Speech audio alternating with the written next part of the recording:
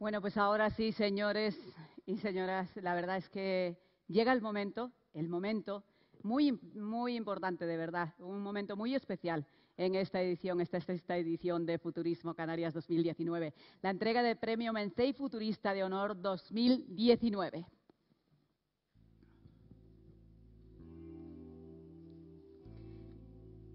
Quienes no hemos hablado muchas veces de que muchas personas han sido las que han luchado por el sur de Tenerife, por supuesto, pero muy pocos como don Santiago, con tesón, con esfuerzo, con inteligencia, con una visión clara de lo que podía ser uno de los promotores pioneros de Playa de las Américas. Una vez escuchamos eso de le devolvieron la vida al sur, quizás le crearon vida al sur, ¿no? Aunque tuvimos la oportunidad ayer de, saludarle y de hablar con Santiago, la verdad, y con su familia, la verdad es que a mí me llegó, y era una cuestión que yo tenía dentro, el, comentarles. Tiene que ser tremendamente emocionante para ustedes eh, lo que han creado, ¿no? Que han sido capaces de ver y de llevar a cabo desde un destino que no era nada, ¿no? Como me comentaban ustedes ayer. Y la verdad que es un orgullo y un placer poder darle un reconocimiento más. Don Santiago Buch ha recogido ya todos los premios habidos y por haber, pero este lo hacemos con todo el cariño del mundo, con toda la, fuerza y el reconocimiento. Así que vaya por delante, por Turismo Canarias, ese reconocimiento hacia don Santiago Puig y la labor que ha desempeñado y toda su familia. Así que, dicho esto, dicho lo cual, el galardonado nuestro galardonado va a entregar el premio a este reconocimiento la señora doña Guacimara Magdaleno, promotora de Futurismo Canarias. Recoge el premio nuestro galardonado, don Santiago Puig Serratusel.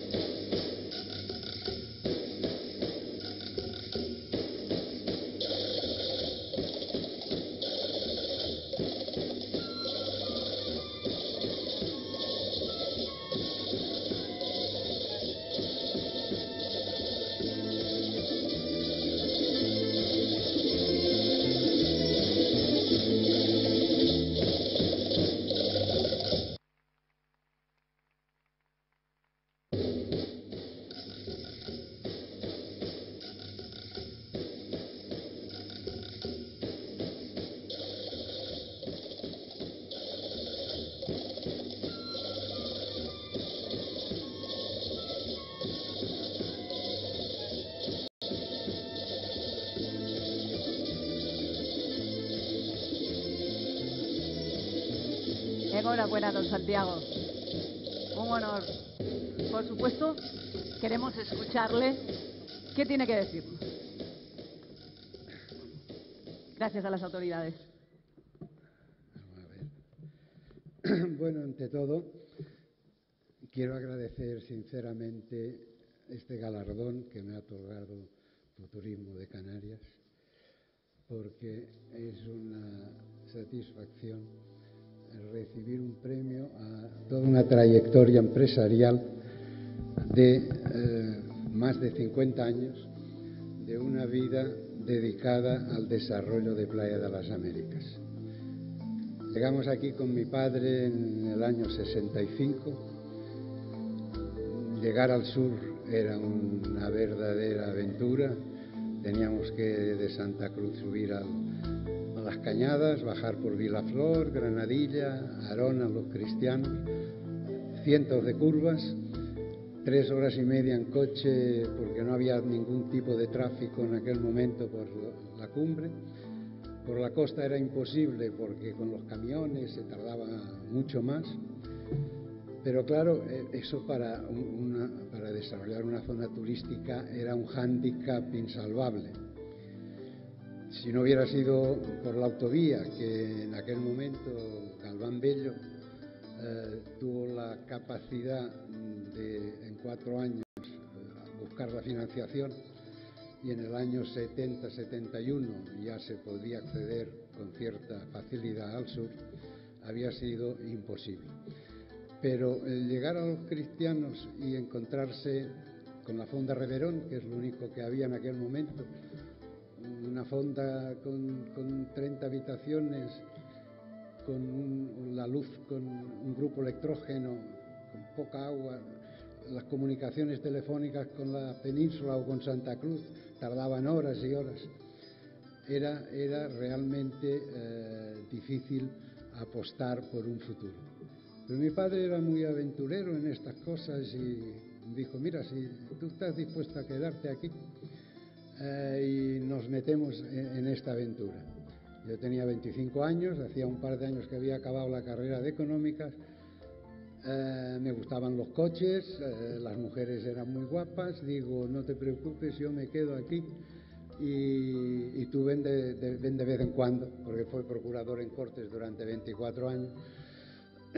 tenía que estar en Madrid y tenía sus negocios en Barcelona en distintos sectores y al turismo no le podía dedicar eh, tiempo y menos a, esta distancia. Y así empezó la historia. Eh, primero nos encontramos con un erial que tuvimos que ir eh, dotándolo de los servicios básicos, el agua, tuberías enterradas a 7 kilómetros hasta el canal del Chija, hasta el canal intermedio para traer el agua a las Américas, teléfonos, Tuve que comprar 100 números de teléfonos porque la compañía telefónica no tenía confianza en el sur.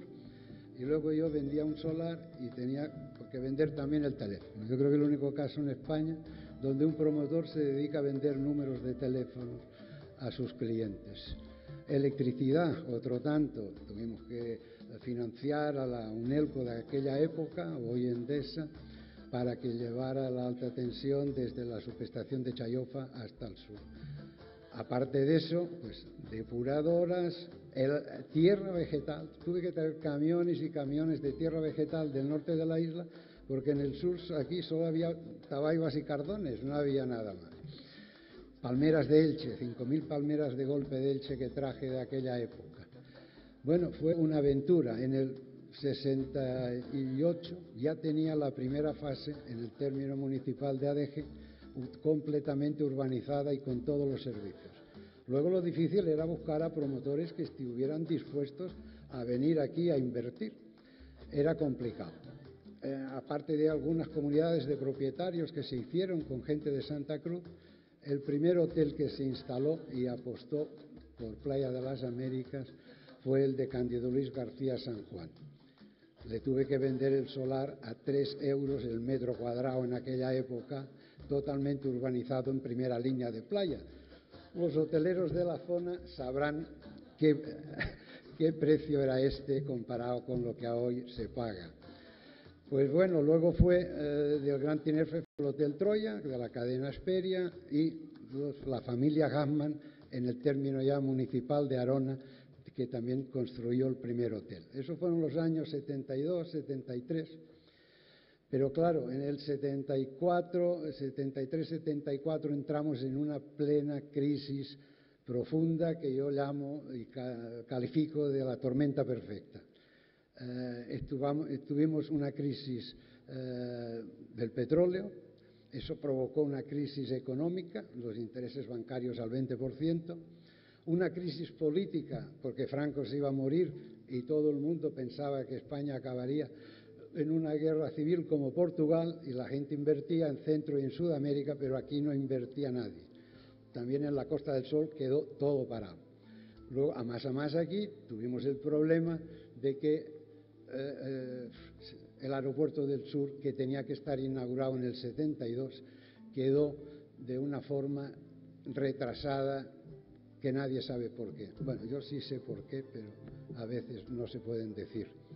Quien lo dijo fue Galván Bello, que en el año 78, en, un, el periódico Diario de Avisos, dio la noticia, hablando de las infraestructuras, que él fue el dinamizador y el ejecutor de la autovía, y del aeropuerto dijo que se había retrasado desde el año 72 hasta el año 78 por culpa de políticos del norte y de políticos de Las Palmas. Lo dijo él, yo lo ratifico, porque en aquellos años yo viví esta experiencia. Y gracias al señor Suárez, presidente Suárez del momento, después de los accidentes de los rodeos, dijo, es intolerable esta situación, el año que viene quiero aterrizar en el sur. Y efectivamente, el año siguiente, en el año 78, se inauguró el aeropuerto Reina Sofía.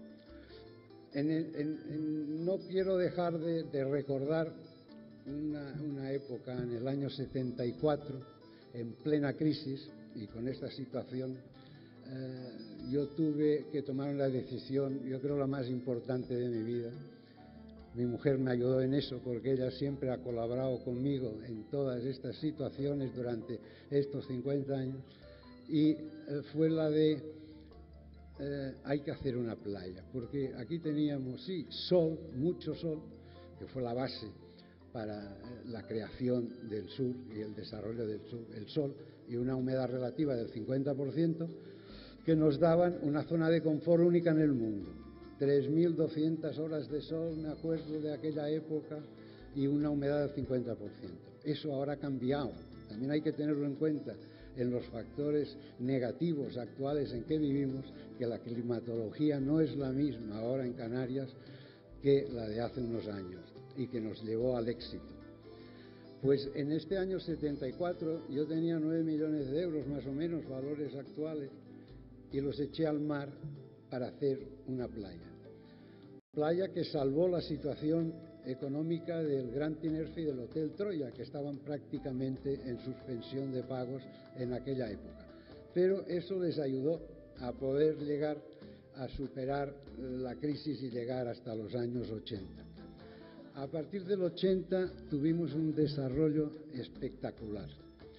Grúas y grúas y grúas.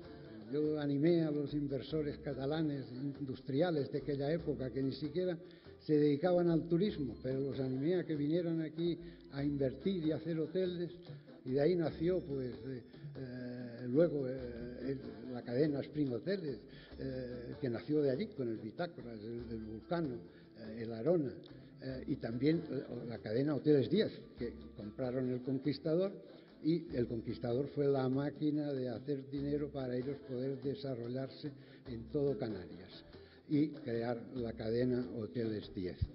Bueno, esto duró prácticamente hasta el año 2000. Fue un crecimiento progresivo con unos pequeños altibajos, la guerra del Golfo en el 90-91, pero que no afectó turísticamente prácticamente en nada. En el 2001 eh, se inventan aquí la famosa moratoria, que lo hicieron mal, tarde y mal, pues la idea era buena, pero estas cosas hay que hacerlas con nocturnidad y alevosía, porque es que si no, todo el mundo, sabiendo que se iba a paralizar el turismo aquí durante 10 años, todo el mundo a presentar deprisa y corriendo, casi hacían los proyectos en ciclo estilo para hacer más hoteles y más hoteles. Y luego salieron, no, que solo se pueden hacer hoteles de cinco estrellas. Ah, muy bien, pues cambiaban la carátula, en vez de cuatro, son cinco, porque se exige lo mismo prácticamente, y llegamos a una situación que actualmente hay el doble de camas de cinco estrellas de las que realmente se necesitan. Y luego se venden a precios de cuatro, con servicio de cuatro, y nos da una mala imagen. Pero seguimos creciendo a pesar de esto, salvo unos pequeños baches por la distorsión que había en, las ocupaciones motivado por el exceso de oferta en determinado momento. Oferta que ha cambiado mucho eh, en, en, estos años, ¿no? porque, menos mal que eh, pudimos paralizar los PMM, si no aquí habría más camas, más eh, cemento, fachadas eh, como en Benidorm o en Torremolinos, que eso era es un turismo de los años 60, pero eso ya ha cambiado. Ahora la gente busca más calidad, más tranquilidad, y para mí fue una batalla el poder obligar a los hoteleros que tenían en el plan parcial la posibilidad de hacer nueve plantas, obligarlos a hacer seis plantas. Y yo creo que el resultado se ve en toda la zona nueva del camisón, eh, que ha quedado mm, de una forma, yo creo, muy bonita, eh, pero que podríamos haber llegado a una situación irreversible si se llega a aprobar el PMM de Arona, que gracias al ayuntamiento y a los técnicos y a los pequeños comerciantes me apoyaron junto con el diario de avisos y pudimos parar el PMM de Arona. El PMM de Adeje sigue la, línea eh, judicial y han tardado cuatro años, pero al final el Tribunal Superior de Justicia me ha dado la razón. Es nulo de pleno derecho y el Supremo lo ratificará. Pero vaya, ¿por qué eh, digo todo esto? Porque en definitiva eh, el turismo, como han dicho aquí, todos lo sabéis, ¿no? que si el Brexit, que si la desaceleración económica de Europa, que si la guerra entre China, comercial entre China y Estados Unidos, todo esto está creando un retroceso, eh, una, reacción negativa en cuanto a, los viajes de la gente. La gente está insegura, eh, no quiere viajar, se queda en casa o busca destinos más baratos. Y destinos más baratos, sin duda, tenemos Egipto, Turquía y Túnez, que son marcas muy atractivas y que venden a mitad de precio porque tienen unos costos laborales muy bajos. En precios no podemos competir, yo lo digo eso hace muchos años. Tenemos que competir en calidad.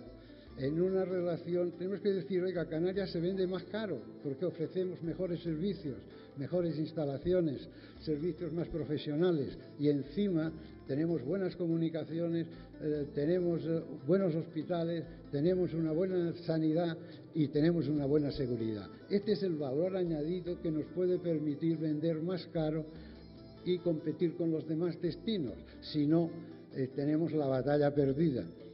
Pero claro, la iniciativa privada sí que ha renovado hoteles, está renovando hoteles sin necesidad del PMM, porque el hotel intrínsecamente tiene la obligación cada 10 años de tenerlo nuevo, irlo renovando constantemente cada año. Y eso la iniciativa privada lo está haciendo ya.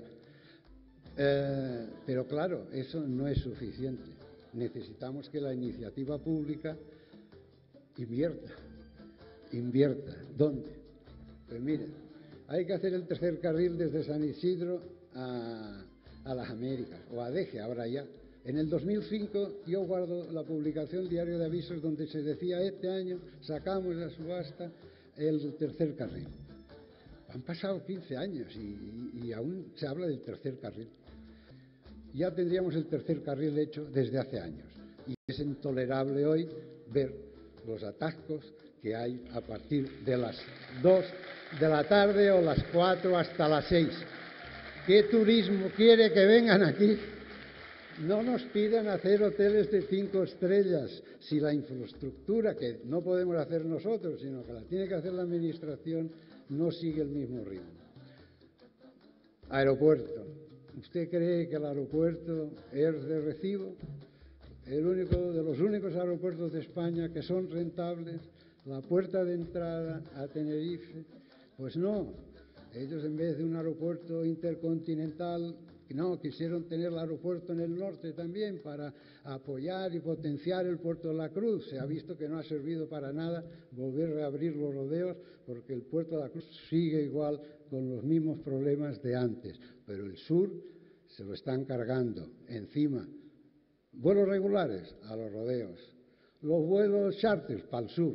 Es incongruente mandarnos los vuelos charters al sur y obligarnos a hacer hoteles de cinco estrellas. Bueno, esto es una cosa más. Hospital, ¿cómo está? No está. Oiga, eh, seguridad, cada vez peor. Mire los Verónicas del otro día. Yo, el señor Bernabé, amigo Bernabé, sabe que yo me meto con los políticos tradicionalmente, de siempre. Pero yo creo que es necesario. Eh, no podemos estar todo el día dando bendiciones y, ay, qué bonito, qué tal, qué cual. No. Estoy cansado de salir en la prensa, yo, los ayuntamientos y las asociaciones empresariales reclamando a los políticos lo que hay que hacer. Todo el mundo sabe lo que hay que hacer, no son todos los políticos. Ahora, a mí me preocupa que o no lo quieren hacer o no lo saben hacer. Me creo más que no lo quieren hacer, porque claro, encima ahora quieren hacer un tren engañando a la gente, porque este famoso tren va a partir la isla en dos, desde el punto de vista medioambiental, un desastre, pero vaya, seguirá el mismo camino que las torres de la autopista, o sea que cuando venga un turista aquí, entre las torretas eléctricas de la autopista, eh, el tren, bueno, llegan a una ciudad, una isla paradisíaca. No, no, no, no nos engañemos nosotros mismos. Esto no es una isla paradisíaca, es una isla que apoyándose en todos esos cuatro factores que yo he dicho, podemos llegar a ser competitivos. Pero, vamos a ver, eh, el tren, el tren, oiga, ¿usted sabe cuánta gente puede llegar a las 8 de la mañana en tren? 450 personas, ni una más, porque luego el otro será las otras 450 dentro de 15 minutos dentro de 15 minutos. O sea, pueden tardar dos o tres horas para llegar aquí, pero como que tienen que llegar 5.000 personas a las 8 de la mañana, pues el tren no va a servir para nada. Van a seguir viniendo coches. Luego, además, vamos a ver, llega el tren aquí, a la terminal de los cristianos o la de Costa de. Bueno, un señor tiene que venir al Hotel Arona a trabajar y el otro tiene que ir a Gran Tinerfe. ¿Cómo va? ¿En taxis? ¿En autobuses? No, ya me dieron la solución. Vamos a levantar las Américas y los cristianos y vamos a poner un tranvía muy bien, venga, obras y más obras y más obras, pero no hay soluciones. Yo, con todo mi respeto, creo que los PMM a quien hay que hacerlo es a la clase política. Hay que modernizarlos, hay que mejorarlos y hay que hacerlos más competitivos. El día 28